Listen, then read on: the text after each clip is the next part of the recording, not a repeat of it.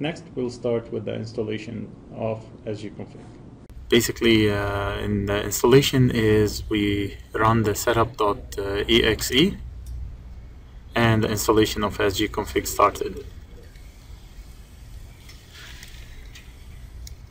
Okay, so um, sgconfig is a is a software that consists of uh, um, multi layers, and uh, as such, the installation of it uh, will involve the checking of all your SQL setup and your uh, uh, component setup. So at this point, uh, sgconfig is checking the SQL setup.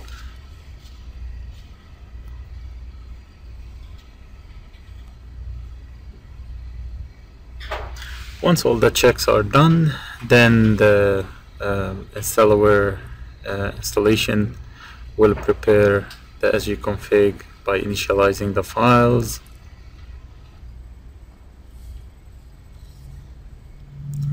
Okay, and in this screen you'll press next and you would uh, review the terms and conditions. Once you have finished reviewing the terms and conditions, if you agree with it, you would check the accept terms and conditions and click next in here. And uh, you can select either custom or uh, minimal setup. In this case we will go custom setup right and click next.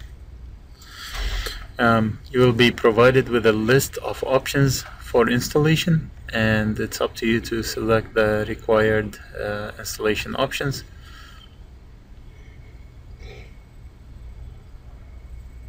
and we'll, we're going to leave it for default setup and click next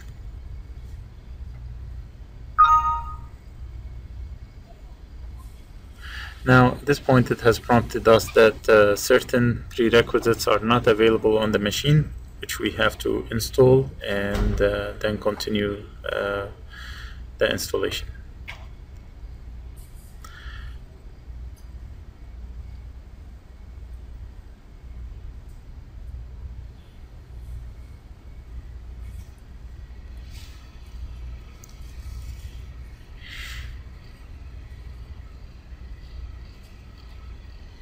Of course, if uh, SQL is installed on this machine prior to attempting this full install, um, this step would have been uh, skipped and uh, it would have progressed uh, directly to installing sgconfig.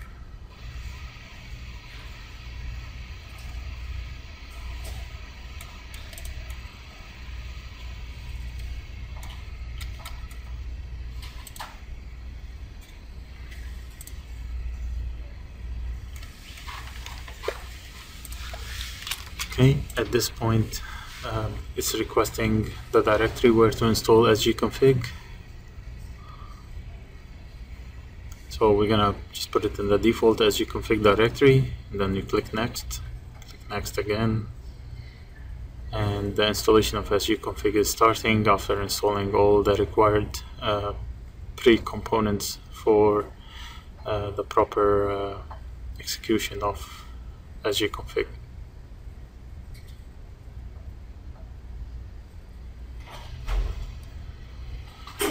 Okay, so uh, as you can see, we have uh, installed the D400 device editor and uh, now it's installing the offline configuration component.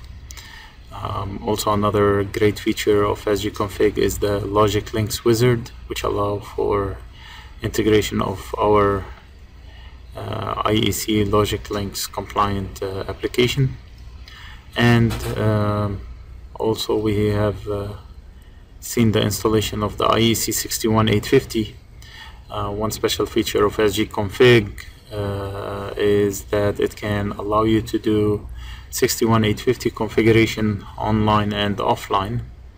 So uh, you can attempt your configuration offline and then uh, download it when you're close or in close proximity of the device and uh, at this point uh, all the modules that support the D20 and the iBox are being installed right? Uh, and uh, as you can see, we have installed the D400 uh, offline editor package. And uh, all the documentations related to the products that have been installed.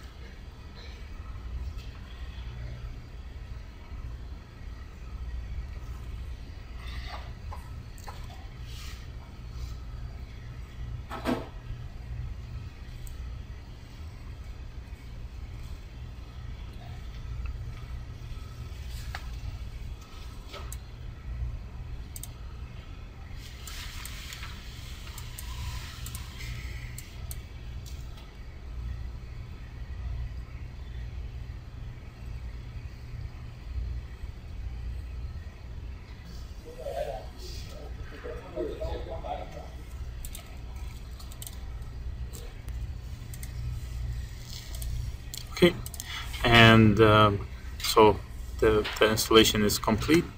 Click finish, and that's it. Uh, sgconfig should be up and running at this point.